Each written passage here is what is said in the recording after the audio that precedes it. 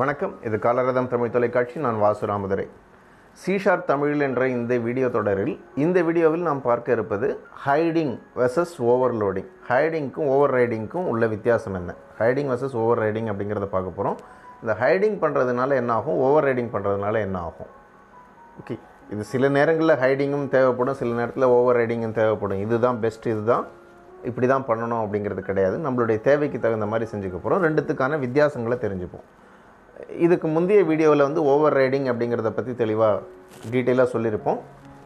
Inheritance class அதுக்கடுத்து overriding class இது ரெண்டுத்தையுமே நீங்கள் அந்த வீடியோஸை பார்த்துட்டு வந்தீங்கன்னா this will be much better for you okay இப்போ வந்து இந்த ஹைடிங் ஓவர் ரைடிங் அப்படிங்கிறத சொல்லும்போது முதல்ல வந்து ஒரு பேரண்ட் கிளாஸில் இருக்கக்கூடிய மெத்தடு சைல்ட் கிளாஸில் நம்ம ரீரைட் பண்ணும்போது என்ன செய்கிறோம் அப்படிங்கிறத புரிஞ்சுக்கணும். இப்போ நம்ம நார்மலாக வந்து we are going to have one class called as employee இந்த எம்ப்ளாயியில் வந்து ஐடி நேம் சேலரின்னு வச்சுருக்கோம். அதுக்கு ஒரு கன்ஸ்ட்ரக்டர் வச்சுருக்கோம். இங்கே வந்து வாய்டு டிஸ்ப்ளே அப்படின்னு ஒரே ஒரு மெத்தட் வச்சுருக்கேன். அந்த டிஸ்ப்ளே மெத்தடில் we are printing the ID and name அவ்வளோதான் நம்ம செய்கிறோம் இப்போ I am having one more class inherited class that is employee temporary employee அப்படின்னு வச்சுருக்கோம். I may have another okay employee temporary employee permanent எம்ப்ளாயின்னு வச்சுப்போம்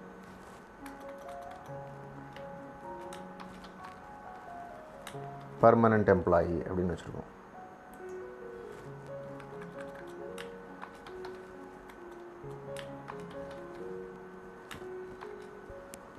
பர்மனண்ட் எம்ப்ளாயி ரெண்டு class வச்சுருக்கோம். இப்போ I have in written this particular display method இல்லைங்களா? Display method temporary எம்ப்ளாயிலையும் இல்லை permanent எம்ப்ளாயிலையும் கிடையாது. ஓகே ஸோ நம்ம வந்து இப்போ மெயினுக்கு வரோம். மெயினில் வந்து என்ன பண்ணுறோம் அப்படின்னு கேட்டிங்கன்னா I am going to have employee temporary employee ஒன்று க்ரியேட் பண்ணியிருக்கேன் பர்மனெண்ட் எம்ப்ளாயி ஒன்று க்ரியேட் பண்ணுறேன் permanent employee E two equal to new permanent employee 3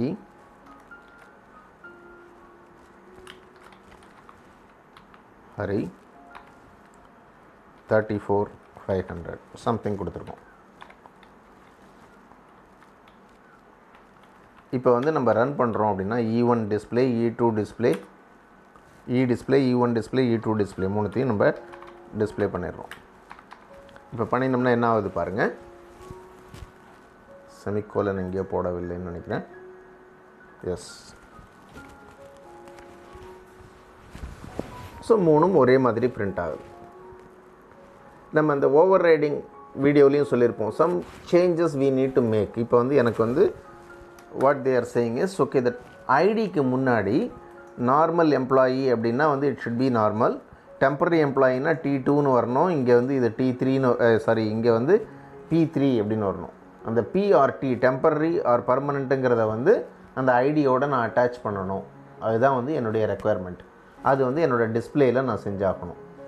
இப்போ என்ன செய்யலாம் அப்படின்னு கேட்டிங்கன்னா we can go to the temporary employee I am going to say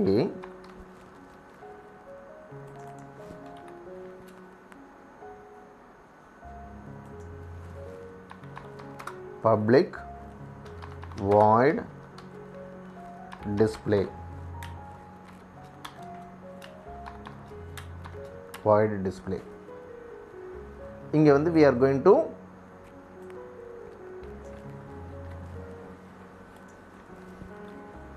just I am adding t here. So T இருந்ததுன்னா T two or T one எங்கே அந்த ID இருக்குதோ அதுக்கு முன்னாடி இங்கே ஒரு டி வந்து அட்டாச் ஆகிடும் அதுதான் இங்கே பண்ணியிருக்கேன் அதே மாதிரி இங்கே வந்து என்ன பண்ண போகிறேன்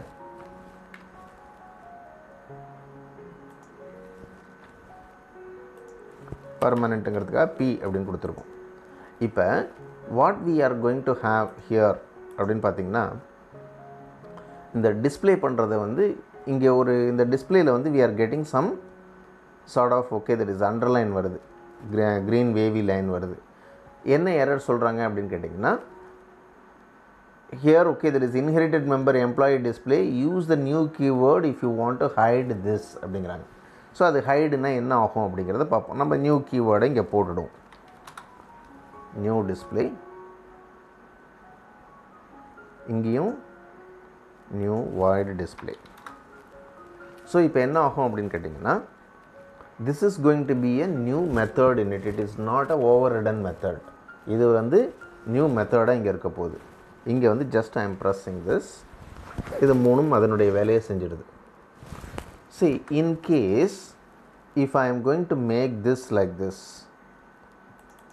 இங்கே எம்ப்ளாயி இ அப்படின்னு கொடுத்துருக்கேன்ல இங்கே வந்து எம்ப்ளாயி இங்கேயும் employee it will accept it because நம்ம முன்னாடியே பார்த்துருக்கோம் இன்ஹெரிட்டன்ஸ் கிளாஸ்லலாம் அதுக்கு முன்னாடி பார்க்கும்போது பேரண்ட் கிளாஸினுடைய ஆப்ஜெக்ட் ரெஃபரன்ஸ் சைல்டு கிளாஸை பயன்படுத்த முடியும் அப்படின்னு இப்போ சைல்ட் கிளாஸ் ஆப்ஜெக்டை பாயிண்ட் பண்ண முடியும் அப்படிங்கிறத சொல்லியிருக்கோம். ஸோ அதனால் வந்து இப்போ e e e it is E one E two E எல்லாமே வந்து what it happens it is the object reference created with the help of employee class so அதனுடைய சைல்டு கிளாஸை அதால் பாயிண்ட் பண்ண முடியுது. இப்போ வந்து நான் ரன் பண்ணும்போது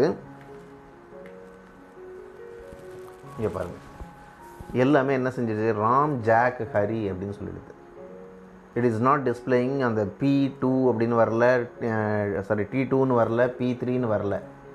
நம்ம அதில் எழுதியிருந்தாலும் நம்ம பேரண்ட் கிளாஸினுடைய ஆப்ஜெக்டை வச்சு ரெஃபரன்ஸ் ரெஃபர் பண்ணும்போது it is hiding that it is hiding that அது வந்து பேரண்ட் கிளாஸுக்கு வந்து இதை ஓவர் ரைட் பண்ண மெத்தட் ஒன்று இருக்குது அப்படிங்கிறது அதுக்கு தெரியாது. நம்ம இப்போ வந்து இதை வந்து டெம்ப் எம்ப்ளாயி அப்படின்னு கொடுத்தோன்னா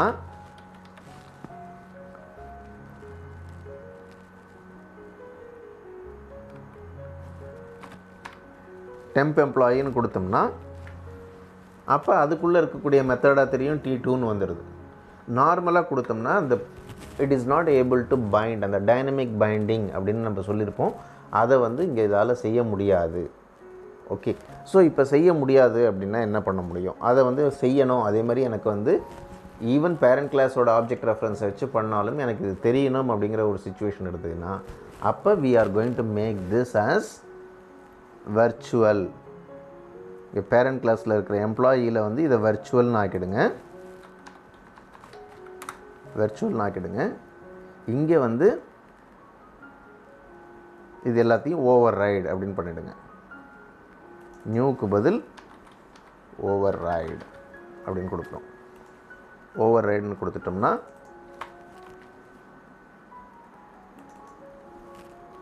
ஓவர் ரைடு இப்போ it is giving this so இதுதான் வந்து ஹைடுக்கும் ஓவர் ரைடுக்கும் உள்ள difference if I don't want this things to happen என்னுடைய கிளாஸை நேராக பயன்படுத்தினால் மட்டும்தான் இந்த மெத்தடு ஒர்க் ஆகணும். அப்படின்னா I need to make that new keyword over there and automatically it will hide that particular method for data binding இது data பைண்டிங்க்கு இந்த மெத்தட் அலோவ் பண்ணாது. ஓகே எனக்கு டேட்டா பைண்டிங் அலோவ் பண்ணணும். பேரண்ட் கிளாஸ் ஆப்ஜெக்ட் ரெஃபரன்ஸை வச்சு பாயிண்ட் பண்ணினாலும் என்னுடைய இந்த மெத்தடு ஒர்க் ஆகணும்னு எந்த மெத்தடை நினைக்கிறீங்களோ அந்த மெத்தடை ஓவர் ரைட் பண்ண போகிறீங்க ஸோ இதுதான் ஹைடுக்கும் ஓவர் ரைடுக்கும் உள்ள முக்கியமான டிஃப்ரென்ஸ் ஓகே இது தெரிஞ்சதுன்னா பாலிமார்ஃபிசம் உங்களுக்கு நல்லா தெரிஞ்சிருக்கு அப்படின்னு அர்த்தம்.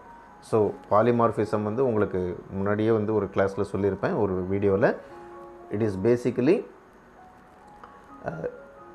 two types one is constructor overloading and method overloading ரெண்டும் சேர்ந்தது வந்து கம்பைல் டைம் பாலிமார்ஃபிசம்னு இந்த டைனமிக் டேட்டா பைண்டிங் ஆர் இந்த மெத்தட் ஓவர் ரைடிங் அப்படிங்கிறதெல்லாம் it is basically run time polymorphism அப்படின்னு சொல்லியிருப்போம் இந்த வீடியோ நாலு வீடியோவை பார்த்தீங்கன்னா பாலிமார்ஃபிசம் அப்படிங்கிறது என்னங்கிறது உங்களுக்கு தெளிவாக தெரியும் இந்த வீடியோ உங்களுக்கு பிடிச்சிருக்குன்னு நினைக்கிறேன் லைக் பண்ணுங்கள் உங்கள் ஃப்ரெண்ட்ஸுக்கு ஷேர் பண்ணுங்கள் தொடர்ந்து இது போன்ற வீடியோக்களினுடைய இன்ஃபர்மேஷன் பெறுவதற்கு சப்ஸ்கிரைப் பண்ணுங்கள் நன்றி வணக்கம்.